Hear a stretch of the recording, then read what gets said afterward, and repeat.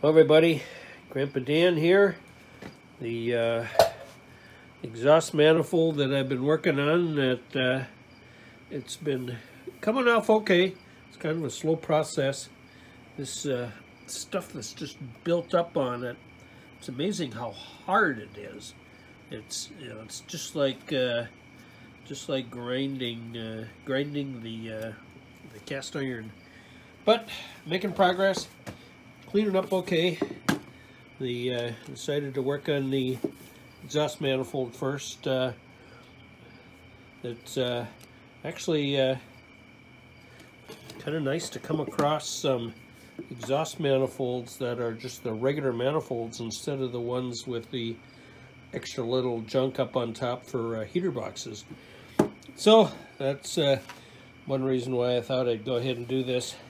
The uh, backside, uh, when I get it all finished up, I have a surface plate that I use for surfacing heads with um, sandpaper glued on it. I'll just put that uh, on that and and uh, stroke it back and forth uh, probably about 50 times and that'll kind of help to chew up the surfaces on there and so should be uh, should be pretty good I'll send you another update when I get her done and get a coat of black high temperature paint on it. See you later. Thanks for watching. Hello everybody. Grandpa Dan here. Uh, I'm not 100% done. I still got some stuff in the little small corners that I'll have to use um, something else to try to get that stuff out better. But I got it good enough. I wanted to be able to see what it was going to look like with a coat of of uh, grill high temperature paint and I think it's going to be okay.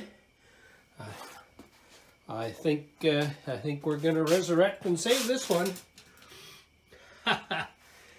the uh, I think you remember how awful they looked between this and the intake manifold. Now we'll see what the intake manifold turns out like, and now I got to drill out the uh, the bolt that uh, broke and tap that, and uh, give the uh, intake a coat of gray paint and put them together and see what they look like. I think it'll end up being a pretty good uh, intake exhaust manifold combo. well, sounds good. See you later. Thanks. Uh, I think uh, over the next couple days I'm going to get the other head off of the other engine and I'll try cleaning up both heads and see what they look like, make sure they're not cracked and um,